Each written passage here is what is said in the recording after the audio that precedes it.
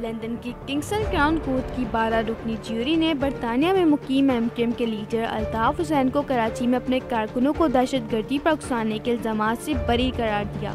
बारह रुकनी ज्यूरी ने नौ घंटे के गौर फ़िक्र के बाद अल्ताफ हुसैन को एक अक्सरियती फैसले में दोनों इल्ज़ाम में बेकसूर करार दिया। जब ज्यूरी मुतफ़ा फैसले पर ना पहुँच सकी तो अदालत ने उन्हें अक्सरियती फैसले सुनाने के अहकाम जारी किए। क्राउन प्रोसिक्यूशन ने अल्ताफ हुसैन के खिलाफ टेररिज्म एक्ट दो हज़ार छह की सेक्शन एक दो के तहत मुकदमा दर्ज किया था। अल्ताफ हुसैन पर इल्ज़ाम था की उन्होंने 22 अगस्त 2016 को लंदन ऐसी टेलीफोन के ज़रिए दो मुख्तलिफ़ तकारीन में अपने पार्टी कारकुनों को तशद पर अल्ताफ हुसैन पर यह भी इल्ज़ाम था कि उन्होंने अपनी तकरीर पर मुबैना तौर पर पाकिस्तान के खिलाफ नारे बुलंद किए और अपने हामियों को कराची रेंजर्स के हेड क्वार्टर्स के अलावा ए आर वाई जियो और समा के दफाते पर हमले पर उकसाया था। अल्ताफ हुसैन ने सहत जुर्म से इनकार करते हुए अपना दिफा पेश किया और मुकदमे की समात के मौके पर अदालत में मौजूद रहे।